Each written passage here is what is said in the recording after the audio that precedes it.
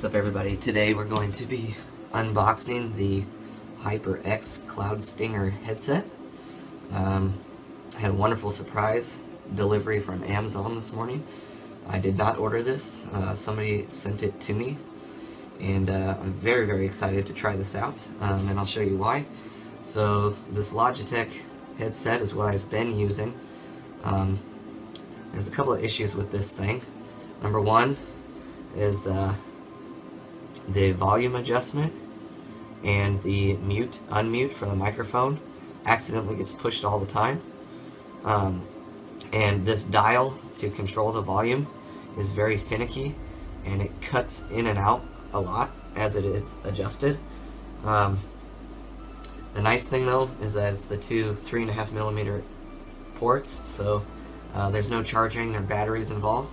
The big problem is though the size of these ear cups are too small, and so it sits directly on the ear like this, which after you use it for about an hour, um, your ears will get very, very sore, and it actually becomes quite uncomfortable.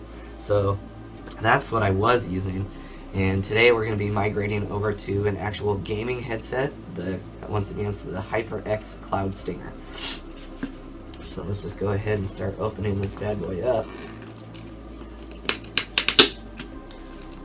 Let's see what's in here. Okay, so we'll just set that aside. And again, this thing clearly is labeled PC, Xbox One, PS4, Wii U, Mac, and mobile phones. So it's quite a universal headset, which is really nice.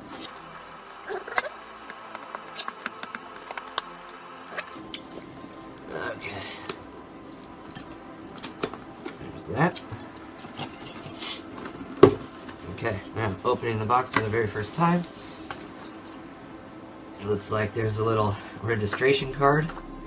Yep. Congratulations. Thank you for joining the HyperX team. Awesome. Uh, very basic quick start setup guide.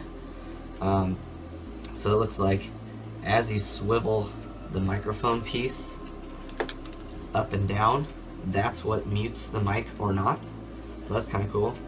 Uh, because on this headset, it's a little button on the side that I accidentally push constantly. Um, so that will be nice. So this this position will be muted. This position, the mic is functioning. There's also a volume slider on the side of the ear cup. Looks like on the right hand side. And then really basic how to plug things in, use with an Xbox controller, that sort of thing. And also the PS4. Um, I'm just going to be using this bad boy straight with the PC, so there's nothing too fancy. Um, you know, these packing materials are good foam, uh, nice and solid, feels really nice. Pull the headset out. Oh, it's heavy. That's a good sign. When things are heavy, it usually means they're made with quality materials and everything. So the first thing you notice here is it uh, comes with an extension cord that goes from the single jack of the headset and split, watch out girl, to the microphone and speaker input for the computer. And I imagine uh, the single port here is probably for the PlayStation and uh, actual gaming console controllers because they don't have the double ports like the PC or Mac does. So speaker microphone, we'll be using that one.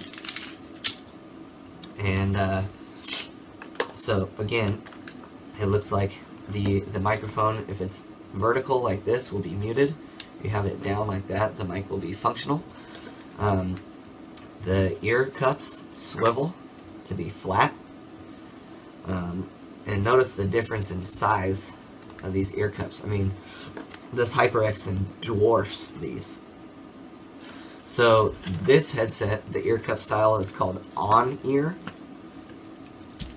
This cup style with its huge size is over the ear, which is going to be a lot more comfortable for gaming or extended use.